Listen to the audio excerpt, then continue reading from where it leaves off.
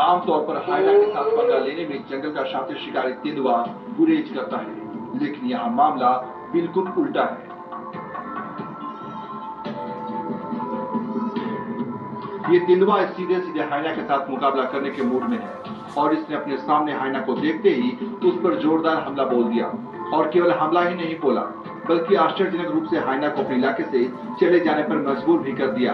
तेंदुआ का ये अंदाज बेहद चौंकाने वाला था क्योंकि आमतौर पर तेंदुआ हाइना को देखकर अपना रास्ता बदल लेते हैं।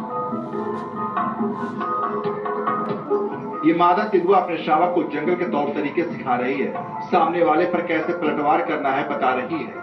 जंगल में ज़िंदा रहने के लिए वहाँ के तौर तरीकों से वाकिफ होना बेहद ज़रूरी होता है। और ये शावक भी अपनी माँ से जंगल के गुण सीखने में जुटा है। लेकिन जंगल में कदम कदम पर खतरा भी होता है और यहाँ भी तेंदुआ की शावक पर खतरा मंडराने लगा।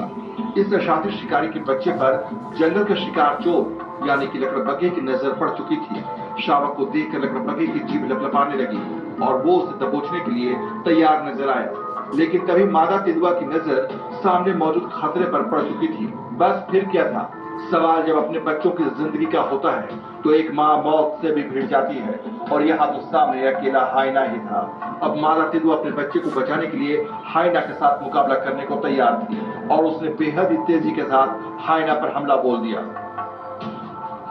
लकड़बग्घे को उम्मीद नहीं थी कि मादा तेंदुआ उस पर इस कदर टूट पड़ेगी। बिजली की फुर्ती के साथ मादा तेंदुआ के हमले से लकड़बग्घा चौंक गया और तेंदुआ उस पर हावी हो गया। अब मादा तेंदुआ के जोरदार हमले से घबराया हाइना वहाँ से अपनी जान बचाकर भागने पर मजबूर हो गया। मादा तेंदुआ ने लकड़बग्घे से अपने शावक की रक्षा कर ली थी, लेकिन इधर हाइना तेंदुआ से मिली शिकस्त को बचा नहीं पा रहा था। और फिर वो पल भी आ गया जब हाइना को तेंदुआ से अपनी हार का बदला लेने का मौका मिल गया।